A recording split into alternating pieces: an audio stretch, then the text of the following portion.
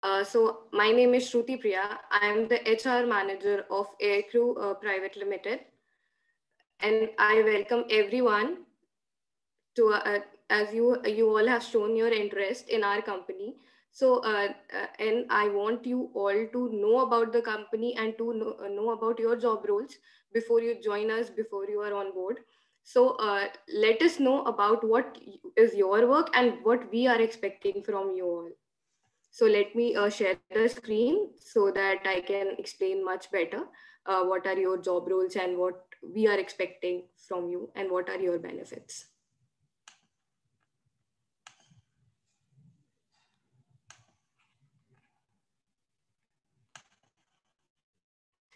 Okay, so uh, as we know that uh, we are we will be uh, talking about the job role for air hostess and cabin crew. So let us first know what what is the job role आखिर करना क्या है everyone has this question why why what is air hostess what is cabin crew what we need to do so let us first understand it mainly what you have to do is take care of your passengers this is the main job role and other than that you have to take their uh, safety reviews you have to understand their problems you have to understand what they need ensure that they are comfortable. And also for the uh, cabin uh, crew the same is the work. You have to take the safety measures you have to uh, announce all the safety me measures that any passenger should know before boarding a flight. Okay. So uh, next. Everyone wants to know what is the difference between an air hostess cabin crew. Anyone can tell me what is the difference? Uh, okay, let me tell you, there is no difference. Cabin crew and air hostess are the same job, same job role with different names. Both we combine the names, we call it a uh, flight attendant, but the job job done by both of the with both the persons is the same air hostess is sometimes taken as a gender biasing uh, name for a job role. So we will go with cabin crew. Okay, we will be uh, pronouncing our job role as a cabin crew. Okay, so next, what are your responsibilities as a cabin crew? There are three main responsibilities which are which are expected from a cabin crew. First is safety, second is first aid, and third is service let us first understand safety. Why we are so much focused on safety? Because in, in the air, there will be no one to help the, help your passengers. You are the one who will be helping them, who will be a connection between uh, for them. Uh, for uh, you will be the one with whom they can approach easily. And what uh, what do we mean by air safety? What happens? Suppose if you are in a flight and there is some emergency or failure or any type of problem they face, you will be the one they will be contacting first. So you will be responsible for their safety, for being with them, for comforting them. Secondly, there is a pre-made um, uh, list of safety demonstrations you should be so showing them so that the, when there is a, an emergency passengers are well known about the safety instructions present in the flight and uh, and also they can uh, you have to explain very well explain it very well so that in any emergency they can work accordingly. Next is first aid. Let me tell you about this photo. This photo is about uh, airlines in which a pregnant lady was uh, boarding the flight and uh, he has to deliver in a flight and these flight attendants helped helped her to deliver a healthy baby with and the mother was also very much fine and in a good health. This is first aid. This is what you should be uh, you should be doing. Suppose there is emergency or anything in your flight you have to be there to help them. You should be easily uh, uh, approachable and you should be uh, easily removable and uh, you should con- uh, the flight contains every type of first aid kits available for the passengers you should be knowing how to use it next is service what are the services that you have to provide to your passengers First and foremost, assist your passengers about the emergency. Second, announce all the safety measures and emergency procedures. Third is verify if the kits are well, well available and arranged in a proper manner.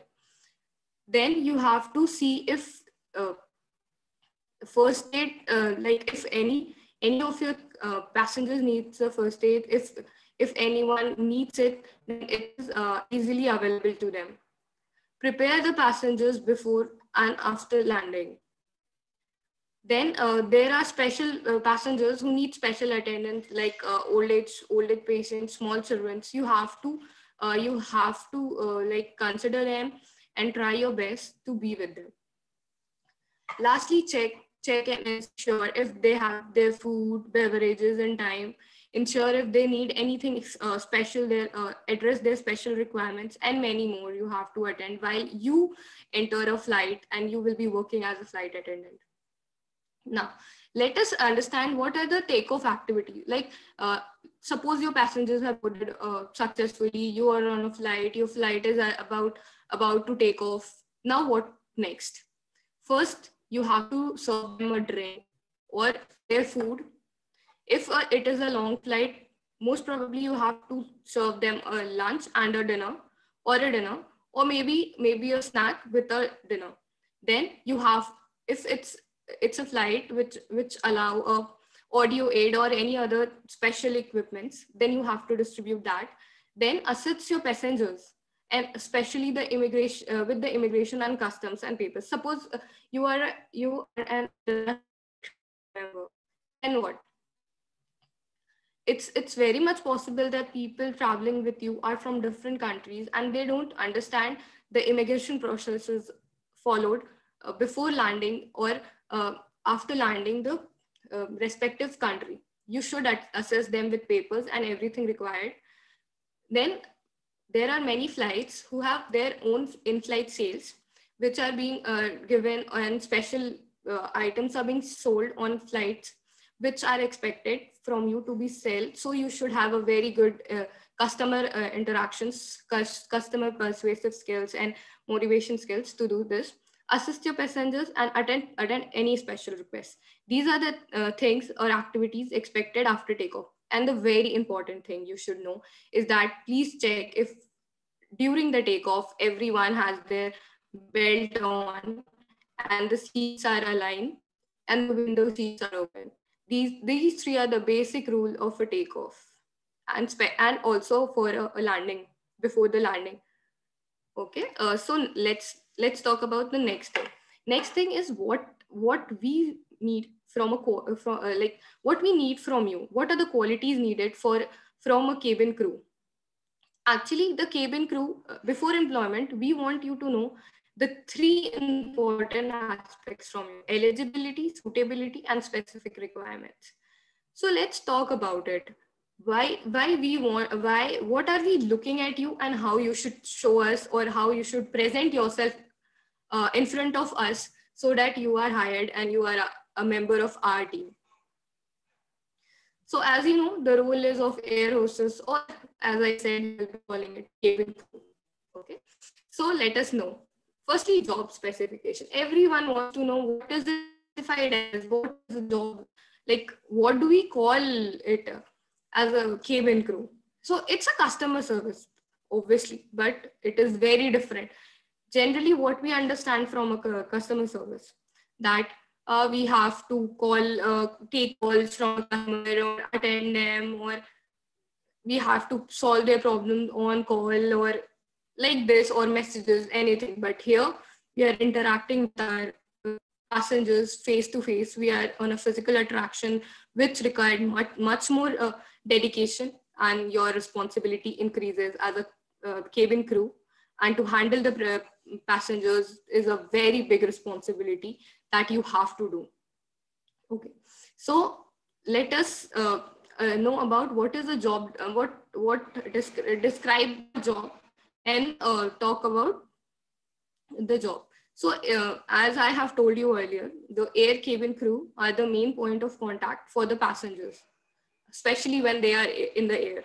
So uh, your responsibility is to safely safe passengers safely and are trained and you will be trained to deal with the security and emergency situation there will be a rigorous training of 11 months or so for you all to be uh, capable of understanding your uh, passengers and to handle any emergency or security situations. They, uh, then you have to ensure that all the emergency equipment is working and uh, all and everything needed prior to the takeoff is there in the flight. So let us know about the job description.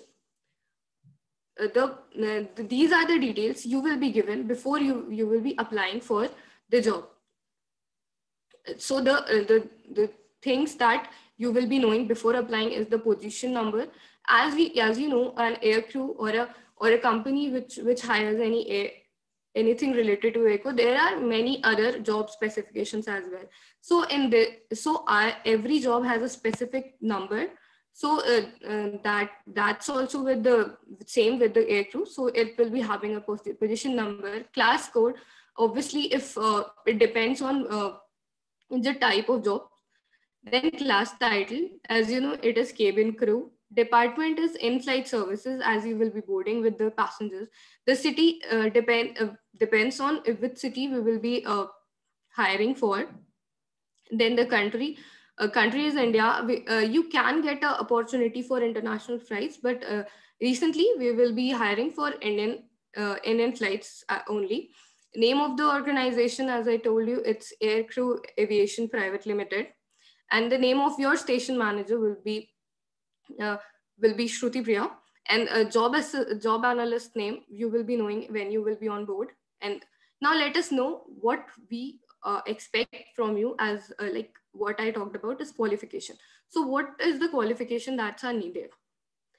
Qualification uh, will be needed, uh, like you should have a, a, degree, then you should have a good, good knowledge about uh, if there is a medical medical knowledge you you will be having that would be a great uh, plus point for you there are many other eligibility criteria that we will be talking afterwards let, let us first describe the job specifications, what we will be needing from you. So uh, experience, what you have done, what you have in your, uh, before you have any experience or not, and the personal attribute, which is very important for this job.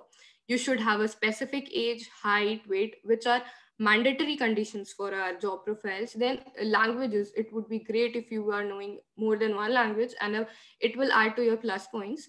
Then vocational courses.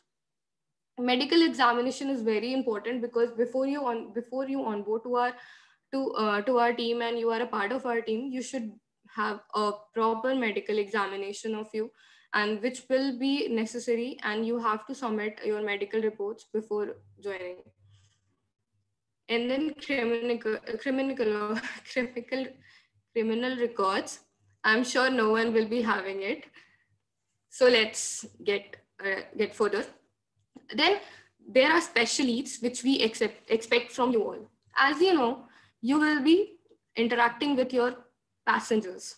So communication, communication skill is the must. You should have a confidence in your talking. You should uh, have your have a attractive communication skills and a confidence with with your uh, people, with the people you are dealing with, and the ability to uh, work as a team.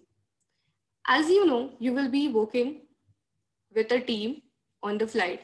If there is no coordination, coordination with the team, the flight would not take off uh, or it won't, won't be a, a smooth flight for the passengers. So it is very important.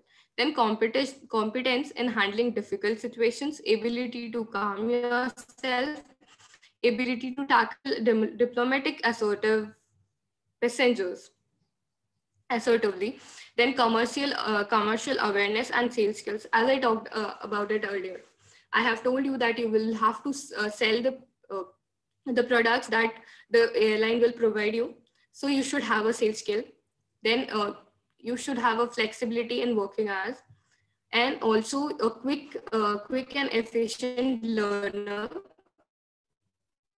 And you are confident to work in a confined space. I'm sure uh, most of you have board, boarded a your flight, you boarded a flight. So you know how confined a flight, flight is and you have to work in a confined space. I hope everyone understand how, how much space you will get for working. So you should have the ability to work with that. So now what is a responsibility? We have talked about everything. We have talked about what is the role, what are job descriptions, what is it classified as, why we should do it, why not, uh, what are the requirements, what is the eligibility, everything we have talked about. But now we need to understand your responsibility as a cabin crew, which is very important. You have to be professional and punctual. A flight will not wait for you or passengers will not be waiting for you. You have to be in time, punctual, and be in flight before your passengers to attend them, greet them, and to be with them. Then you should uh, learn all the pre-briefings. Not learn, you should understand it, hold it as it as if it's a very necessary thing, and you should be briefing it to your customers.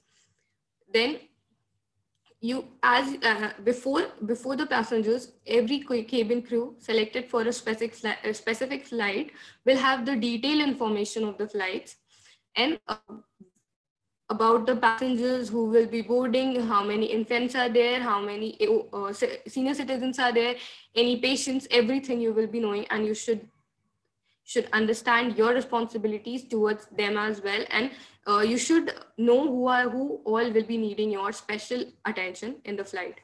Then if necessary you should give a first aid. You should know how to be how should how you should give a first aid at least. You should understand uh, understand the importance of your first aid giving a first aid and know a proper first aid how to give a proper first aid next ensure that passenger disembark safely at the end of the flight and check there is no luggage left in the overhead lockers or any other places. There are chances people may forget their bags or any other thing, especially with the people, especially with older people. There is a condition when they forget their uh, things. So it's your duty to keep a check and uh, remind them of their bags. Or if they, if if ever they missed it you have the response you are responsible for uh, providing the guidance or making the bags reachable to them next you bef before take takeoff or before landing you have to check their seat belts and the galleries are secured prior uh, uh, galleries are secure, uh, secured prior to the takeoff and while landing you have people should not uh, stand before the flight is completely landed, this, these are your uh, responsibilities you should be checking. Then you have to be uh, very firm with your communication skills. You, you should be, your pronunciation should be clear. You should be uh, able to communicate with passengers and your uh, uh, whatever you are communicating should be under, understood by the by the passengers is very important because there many times or most of the times the uh, the announcements will be done by you in behalf of the pilots. In fact, you have to answer the questions of the of all the passengers if they ask. Then you have you are uh, you are expected to serve them meals, meals or uh, other refreshments, whatever they need. Then uh, duty free goods, uh, if you want, if there is a products to be sell, you have to sell it. Reassure passengers and ensure they follow safety procedures correctly in emergency situation. And then complete paperwork including writing a flight report you have okay let's understand what is in uh, this writing a flight report. Suppose you board a flight whatever happened if your flight is a two hour journey you have to write it just like a meeting memo whatever we have discussed or anything whatever we will be discussing is written on a meeting memo. That would be written on a flight report which you have to submit after the flight after every flight you will be boarding next carry out pre duties like safety equipment checks, ensuring aircraft is clean, tidy, seats uh, seats are uh, in a good condition, and meals are on board. Especially during the COVID times, as we have seen, people it's a very much risky job for you also, and the travelers who are traveling, it's a very uh, very much risk for them as well. So it's your duty to check if the seats are sanitized properly, the deck is sanitized properly, everything is clean and sanitized properly is your job. Then when passengers are entering your in your flight, you should be welcoming them with a warm and, uh, and a very beautiful smile so that the passenger boarding will have a smile as well when they board your flight. Then you have to inform the passengers about the aircraft, what, what are the where are the exits exits and how, how how they have to proceed while while the flight take off everything you have to inform them. Then deal with any difficulty with the passenger you have to deal it lightly even getting anger. You should have anger management or anything it take but you should be polite with your uh, passengers. So make sure you are polite anything anything happens you have to be polite. Unless and until it's a very huge problem. Next. Now let us talk about qualification a very important criteria.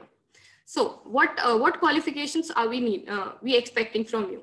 You should have a degree.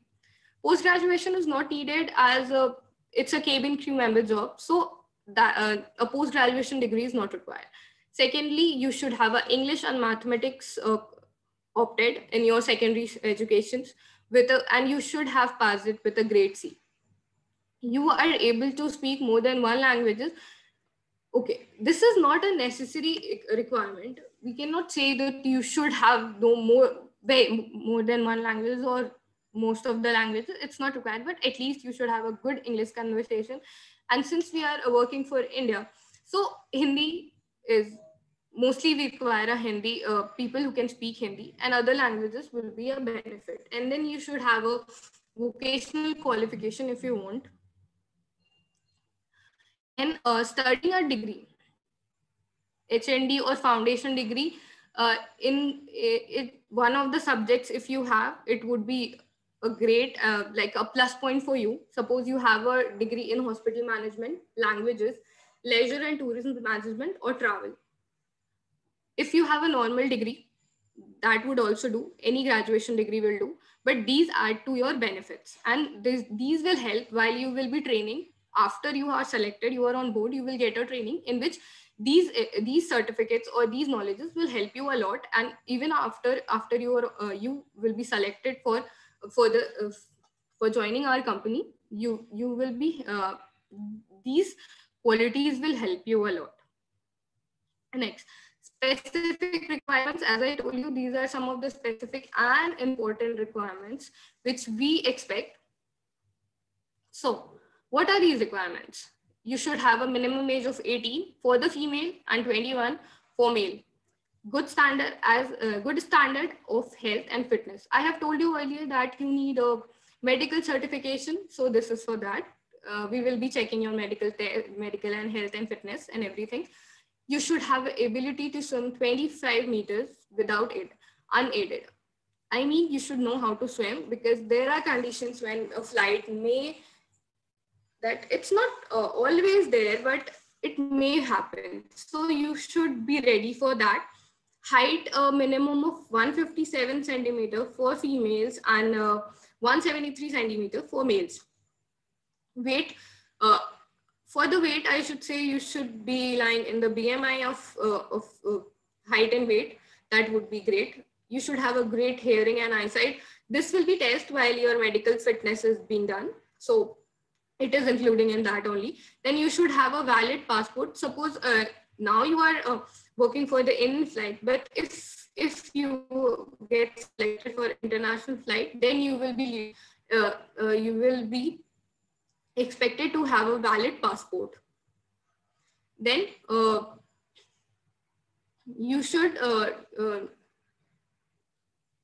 you should have you should not have any uh, restrictions uh, while traveling worldwide. Like there should not be any country who have uh, bar- barring you from entering their country or cancelled your passport. Next so special skills. What are special skills okay let me tell you special skills first. This is not necessary but it is necessary. Okay this this feels confusing right? Okay now let me tell you. Special skills are not important. They can be uh, generated or you can have those skills you can increase everyone has these skill, skills but you have to increase them and work on them. So what are these special uh, skills? Let me tell you. Uh, communication skill I, have told you earlier also it is the must. Then customer service. You should know how to give a service to your customer. You should know how to react how to act in front of your customer. Confidence in dealing with a range of people. Uh, suppose you're uh, you have a passenger around 200 passengers in your flight. It is not possible that 200 people are calm and uh, sweet and like they are talking with you sweetie and nothing is nobody is on a rage. That is not possible. There will be a numerous type of person. Each person is different from themselves and you should know how to handle them. Then cooperation skills. You should know how to work with people how to understand them and uh, teamwork is a must then you should know how to support your colleague, colleagues. You should not be uh, being like if i am assigned this job i'll be doing only this job. This is not what is expected from a cabin crew. Support your colleagues. If someone need help if you have done your work then also if someone need help do it. Then vips or royalty pay, uh, passengers.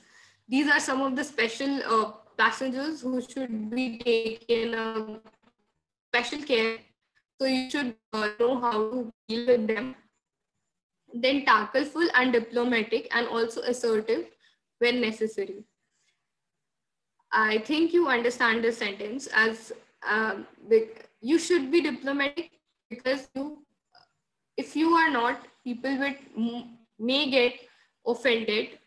If uh, suppose you are dealing with a person and he he said something and you get angry, but you have to hide it. You have to be uh, polite and smiling every time.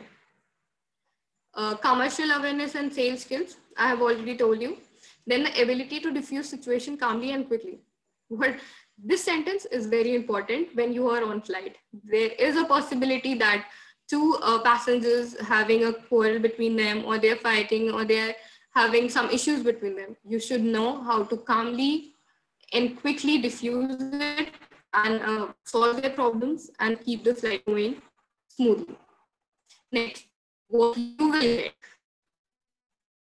basic salary is 35,000 and uh, 35 to 40,000 per month with the allowances. The allowances are added uh, with it.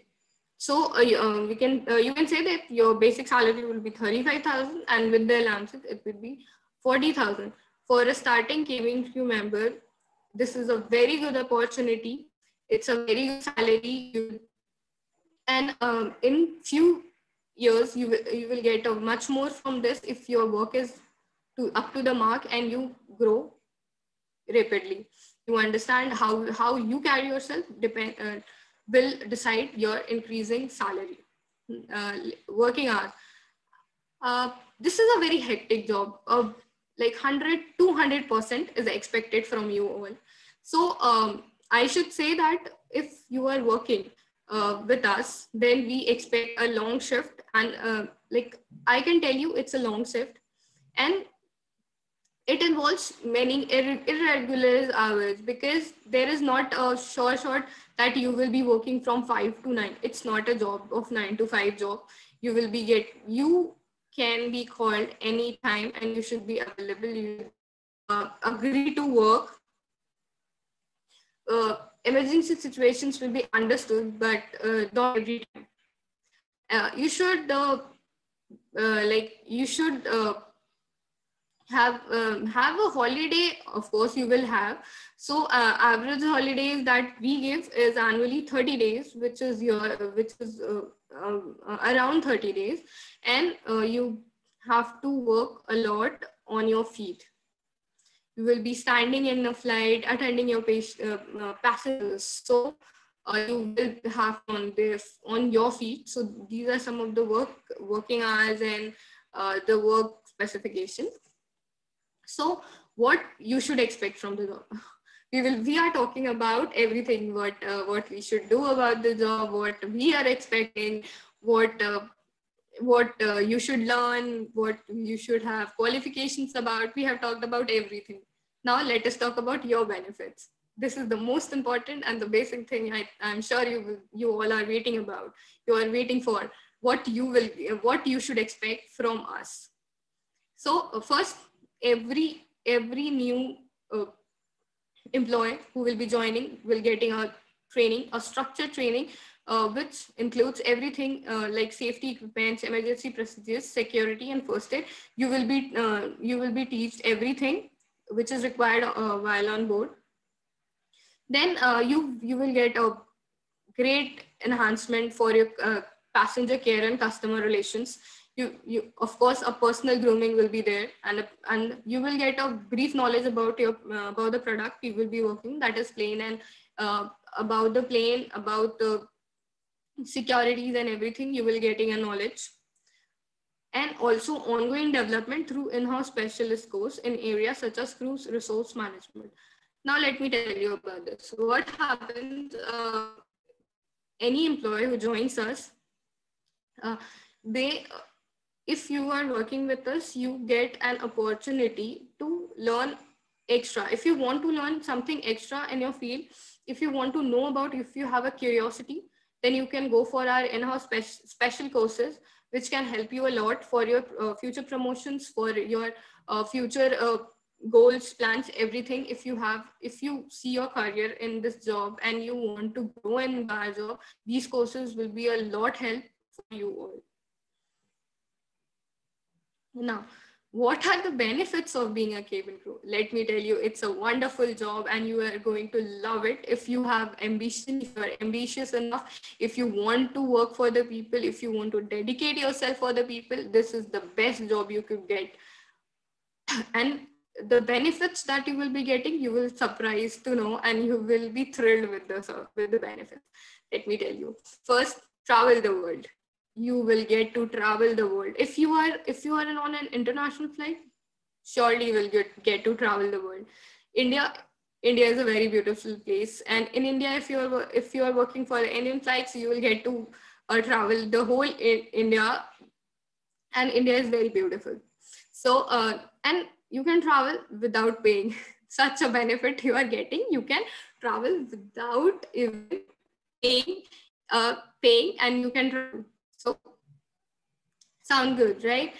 Now let us talk about what are other benefits. Very good salary and increment is very, very uh, convincing. Then you don't have to pay your taxes as uh, in this job, uh, tax payments is not required. You can just go for your salary is only yours. Then if you're if you are experiencing um, like if you are going to another country or even in other states in India, you'll be making new friends. You will be knowing, uh, uh, you will be exploring the world. Uh, you will get to meet new people, which can build your experience, can help you learn many other things which you haven't. You, can, you should you can know about different cultures if you're interested in uh, learning about them. You could you could go for that also. Then you get a medical uh, international medical insurance and then awesome compensations and benefits. Now, uh, every job has some or the other challenges. Everyone working has to uh, face a challenge in their day-to-day life. Same with our uh, same with a job job of a cabin crew. There are challenges that uh, you may face, but benefits are much more higher than that. The, uh, what are the challenges that you will be facing? You have to handle some unruly passengers very hectic you have to understand them you have to talk uh, you have to like control your anger, which is a very, very, uh, like very much difficult. I can understand that, but you have to do it. Then you have to, uh, you have to handle uh, emergencies, which is very important. Then different time zones happens when you are uh, uh, working for an international flight, jet lag. Kind of people, some can manage, some don't. Then uh, you will be away from your home. Obviously, that that is a big, big, big challenge. Uh, but working for you, getting a job, growing in your career is much more important, I guess. Then health risks, risk are there as you are uh, moving from one state or one country to another. There are risk of health as well, disease or maybe any other infections. And the last, which obviously happens very rare, is plane hijacks or plane crashes, which is not a very frequent thing, but there is a risk of this as well. Uh, this is all about this role, job role, that is cabin crew role. If you have any questions, you can ask me. Thank you.